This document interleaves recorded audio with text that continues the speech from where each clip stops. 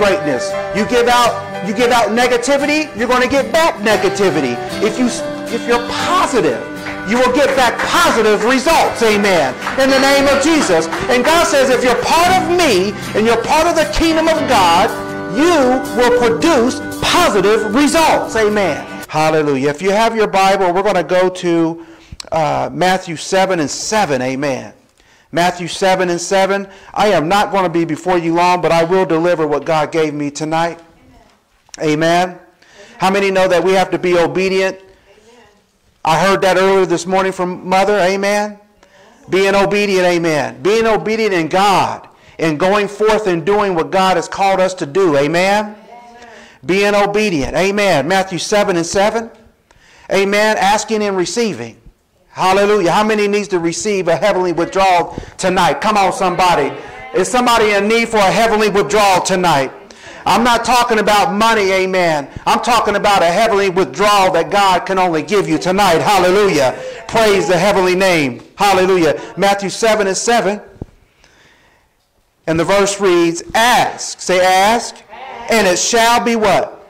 Given to you. Seek and shall what? Find and what? Knock and it shall be what? Open unto who? Unto you. Let's read it again. Ask and it shall be given. Seek and you shall find. Knock and it shall be open to you. Verse 8 For everyone that asketh what? Receiveth. And he that what? Seeketh findeth. And him that knocketh it shall what? Be open. Let's stop right there.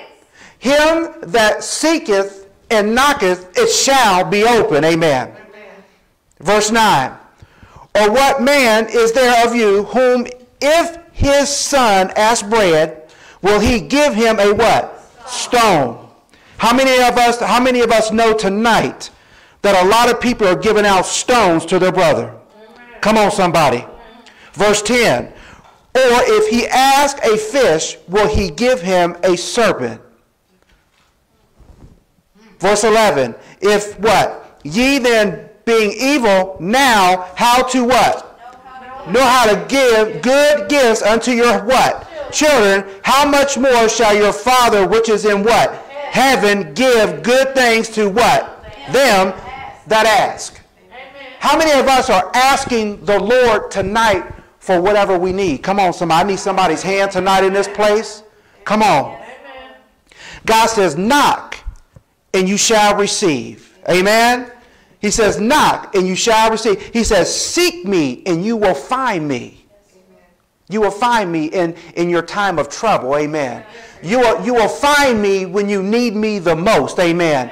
The, the word of God and the Lord says, do not seek after man because they will always what? Fail you. All the time. And now why does man always fail the kingdom of God's people? Come on, somebody. Because God's wanting us to ask it from Him. He's wanting us to ask for what we need from Him. Amen? Amen? Glory to God. Praise the Lord. Hallelujah. Go with me to, hallelujah. Amen.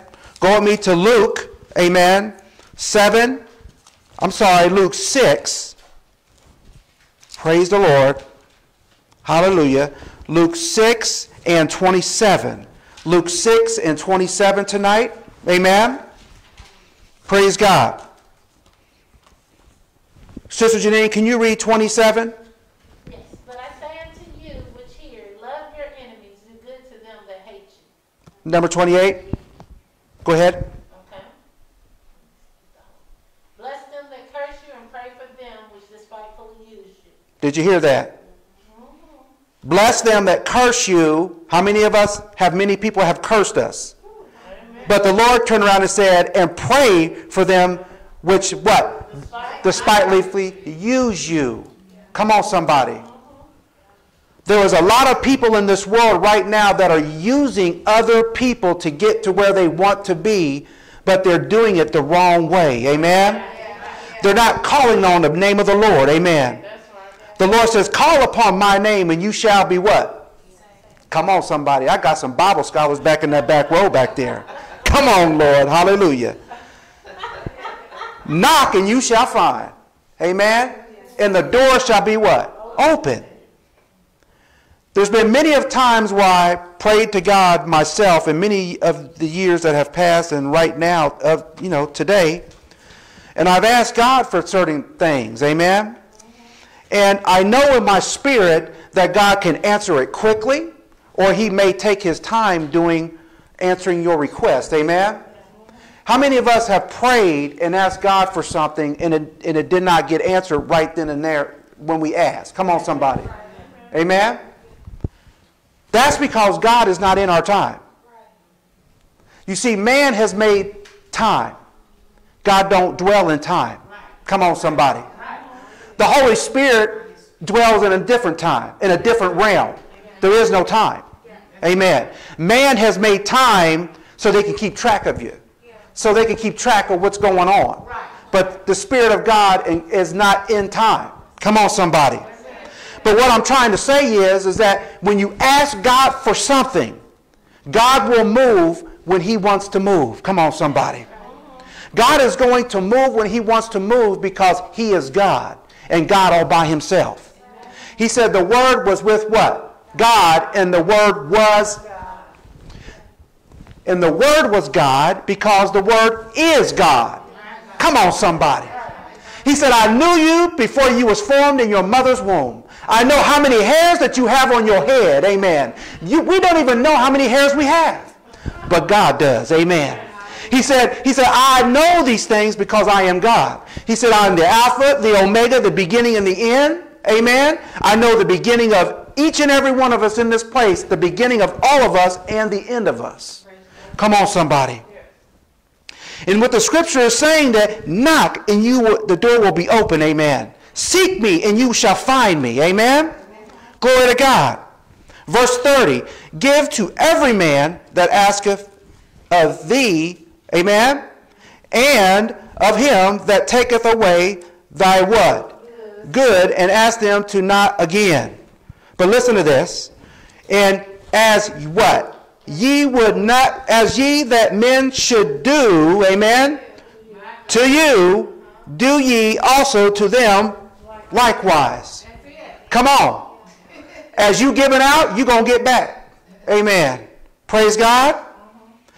You give out greatness, you're going to receive greatness. You give out you give out negativity, you're going to get back negativity. If you if you're positive, you will get back positive results. Amen. In the name of Jesus. And God says if you're part of me and you're part of the kingdom of God, you will produce positive results. Amen. And I'm speaking to somebody in here tonight, no matter what nobody said, whatever, who said anything about you wrong or negative, negative about you, God is saying right now tonight positive things about your life. Amen.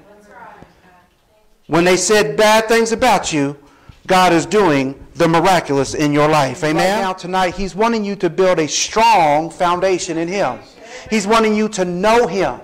He's wanting you to know him tonight. He's saying, I love my people so much. I want that relationship and that, and that one-on-one relationship with them. Amen. He loves us that much. You see, church, sometimes we need to go into our quiet place, amen, and have quiet time with the Lord, amen. Get on our knees and say, God, here I am. Do with me as you will. Praise God. Do with me as you will. Leaving all the things of the world behind, amen leaving all the things that the world may bring you to make you feel good behind, praise God, but letting the Lord do the miraculous in your life. Yes. Hallelujah. Knock and what? The door will be open. A lot of us are not knocking on that door, we're walking past that door. We're walking past that door. And we're walking past that door, and the Jesus is standing there saying, I'm right here. Only if you would knock on that door, I would open that door for you. Hallelujah. Praise the name of the Lord. Praise God. How many knows that God is in control? And how many know that God can do the miraculous in your life? Amen. There was plenty of months, amen, that when we had, uh, when we left the other building, praise God, I'm not going to say which one, but when we left, well, the two of them, amen And the Lord worked with me inside, amen. I thought I was a failure, amen. But God spoke to me and He says, No, ye of little faith, you're not a failure. Keep your head up high. Keep moving and doing what I have called you to do, no matter what has happened in your life. And I said, Okay, Father, I'm going to do what you have called me to do, no matter what. I'm going to press forward and do what you have called me, my wife, my children, and the congregation what to do. Amen. Amen. And there was a period of time that it was quiet. And in that quiet time, the Lord spoke to me and He says, It was quiet because I was resculpting you into what you needed to be. That quiet time was a place to where you needed to be for me to talk to you. Come on, somebody. I'm talking about God talking to me. Just because I'm behind the pulpit up here don't mean God hasn't spoke to me in certain times in my distress. Amen. How many of us have been in distress? Amen. Come on. Nobody in this room is perfect. But God is always speaking to us in our distressful times. And when he spoke to me, when the Holy Spirit spoke to me, he says, You can do it. You can do it. Don't listen to the naysayers. Don't listen to the, the ones that are telling you you can't do it. Don't listen to the ones that say, oh, what happened? Listen to the Spirit of God, which is in heaven. Amen. And he says, I will guide you down that path. Praise the name of the Lord. And I remember that day that came, amen, when the Lord was had me done with that part of my season. Amen. How many knows that we're all we're living in seasons? We're doing things in seasons. Amen. And then when that was that was the season that I was in, but it, it left me, and the Lord says, now this is the time where you can go and do what I have called you to do. You see, the Lord had to grab me and sit me down to, so he could talk to me, not, not doing anything bad, amen. But he had to get my attention. How many of us that the Lord had to get your attention? Raise your hand in this place. And when he, he we got your attention, amen, he sat you down. And he said, This is what I want you to do. This is the, this is the, the, the, uh, the promise that I have on your life. This is the, what I have wanted you to do all this time. Amen. Glory to God. Turn me to uh, John chapter 10, verse 1. John chapter 10, verse 1. Verily, verily, I say unto you, he that what? Entereth, Entereth not by the what? Door. Into the sheepfold, but climbeth up some other way. The same is the thief and a robber. Did you hear that? Sister Janine, read me verse 3.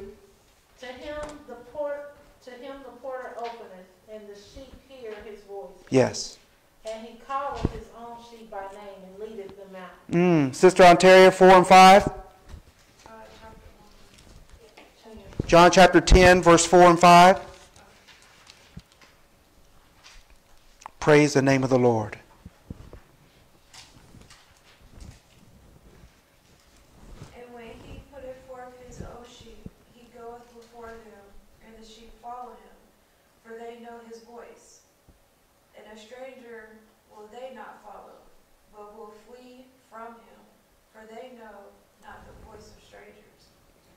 Mother, uh, Mother Lily, can you read verse 7? Yeah, oh, yeah. John chapter 10, verse 7. Hallelujah. How many is, how, how's the word talking to people tonight? Amen?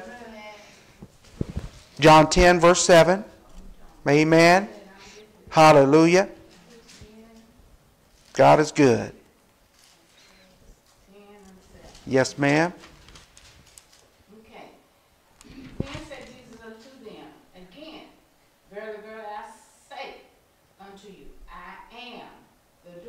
Mm. of the sheep. Mm-hmm. Hallelujah. Did you hear that? Amen. He said, Jesus said, I am the door of the sheep. We are the sheep. So he's saying, I am the door, so come into that door. The shepherd is calling you right now tonight. Hallelujah. He says, Come into that door, come into the pasture, and I will guide you to where you need to be. Amen? Amen. Hallelujah. Verse, uh, let's jump over to John. We're still in 10. Let's jump over to verse 28. 28 and 29. Let me see 28 and 29, Pastor. And I give unto them eternal life. Yes. And they shall never perish, neither shall any man pluck them out of my hand. My Father, which gave them me, is greater than all, and no man is able to pluck them out of my Father's hand. Yes. Sister Ontario, verse 30. Glory to God. I am, I and my Father are one. Amen. How many got excited right there after that? I did. Just that small verse resonated in my spirit. I and my Father are one. One. And there he is there for you. Amen? Praise the heavenly name. So, what we need to do, amen, is to seek God. And He said, You will find me. He says, Knock on that door, and that door will be open to you, to all of us. In our time of distress, in our time of trouble, in our time of sickness, He says, Open that door. He says, Come to that door, and I will open that door, and I will let you in. There's healing in the land, mother tonight. There's healing in the land. There's a lot of distress going on in the land. And God says, I'm healing the land. He says, when you go and walk on the land, he says, take that land back and possess that land back for yourself. Amen. He says, that land don't belong to nobody but God. He says, when you walk that land, you possess that land back to you. Amen. God says, speak to that thing and it shall be yours. Speak to that mountain and it shall be removed out of your life. Speak to that thing and it will be gone out of your life. So bills be gone in the name of Jesus. Sickness be gone in the name of Jesus. Hallelujah. New car, come to me in the name of Jesus. Hallelujah. Glory to God. New walk with God, come to me in the name of Jesus. People that are negative, move out of my way in the name of Jesus. Hallelujah. But God, here I am. Do with me as you will in this place tonight. No matter what nobody says. In the name of Jesus. Glory to God. Amen. I felt a shift taking place. Amen. I felt a shift. I don't know who it was for, but a shift just took place. The foundations of the earth just moved. I'm telling you right now, I don't know who it was for, but something happened in the atmosphere of God, amen, and it moved out of the way. The circumstance that was coming at you has moved out of the way, glory to God. The sickness that was coming has moved out of the way in the name of Jesus. And I'm telling you that no devil in hell can have his way in your life anymore. Hallelujah in the name of Jesus. Rise again. Do what I have called you to do in the name of Jesus. Go out and be discipled. Go out and be disciples of men. Amen. Go out and grab those people that need to come into the glory of God. Amen. He says, go out in the highways and the byways and compel them to come in to the house of God. Amen. He's not saying come into the these four walls. He's not talking about these four walls. He, God don't care about this. He cares about what you do for him. He cares about your work, that you, your labor that you do for him. And he says in the word, laborers are few.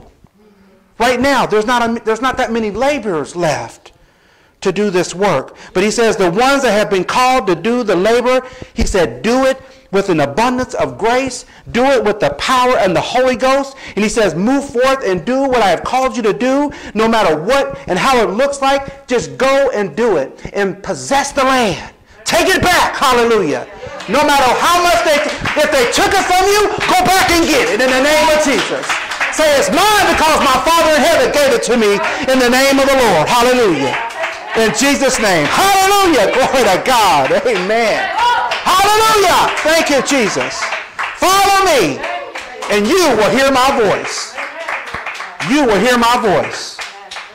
I don't know about you, but there's plenty times that I have heard God's voice speak to me. How many of here have heard God's voice speak to them?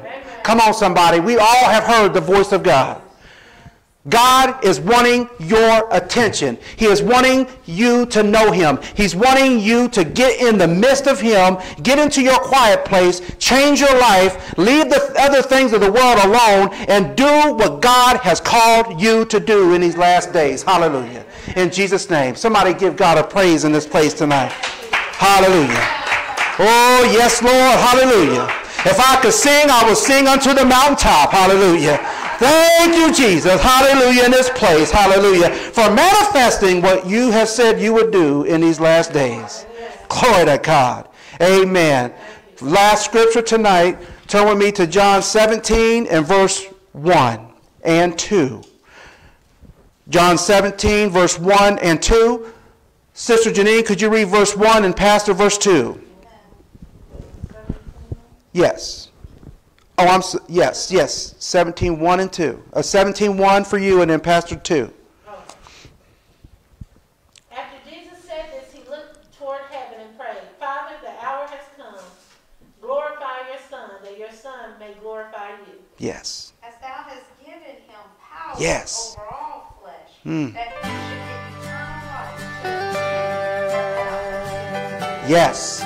He's given us all eternal life and the power to do what he has asked us to do. Amen. Praise God. Leave the things alone of this world. They have nothing for you, has nothing to offer you. Amen. But only God has the only way.